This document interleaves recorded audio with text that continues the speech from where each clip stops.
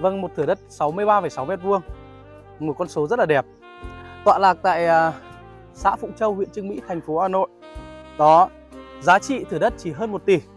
Mặt tiền à, thửa đất là 4,6 m và chiều sâu rơi vào khoảng 13 m.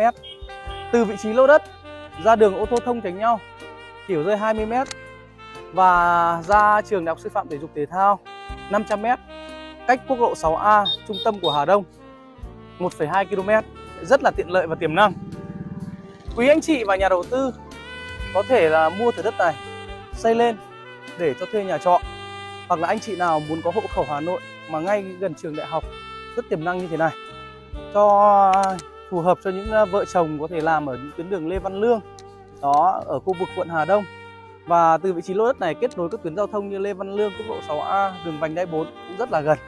Cách bến xe Yên Nghĩa chỉ rơi vào hơn một cây. Quý anh chị nào mà quan tâm có thể liên hệ em thành đất Vendo. Đất phía trước mặt quý anh chị. Cảm ơn anh chị.